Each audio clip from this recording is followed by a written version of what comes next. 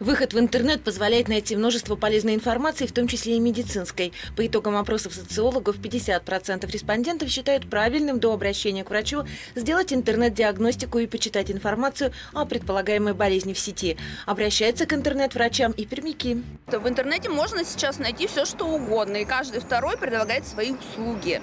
Про лекарства, допустим, читаю всегда аннотацию, чаще всего в интернете, либо какой-то диагноз ставят, там, ну, читаю о нем. А мне кажется, у нас сейчас основной поиск информации это и есть интернет. В принципе, да, доверяю. Ну, отношусь к этому нормально, в принципе. Наверное, быстрее все это. Ну, так, для себя, чтобы знать информацию. Вот, самое главное. Даже очень полезное бывает.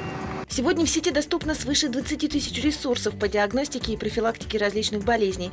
Защитники прав потребителей предупреждают, обращение за консультациями к онлайн-экспертам может быть опасно для вас. Во-первых, вы не можете проверить достоверность медицинских дипломов и лицензий, поэтому нет гарантии качества дистанционных услуг. Во-вторых, если вы оплачиваете онлайн-услуги через карту физического лица или онлайн-кошелек, имейте в виду, закон о защите прав потребителей не распространяется на такие правоотношения. Все ИП, все фирмы, они зарегистрированы, скажем так, налоговой, и эта информация в свободном доступе.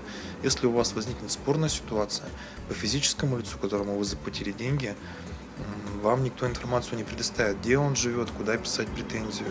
Это огромное количество сложностей порождает, поэтому все, что касается сферы интернет-торговли, в том числе и услугами, как правило, до судов доходят, ну, наверное, только единицы.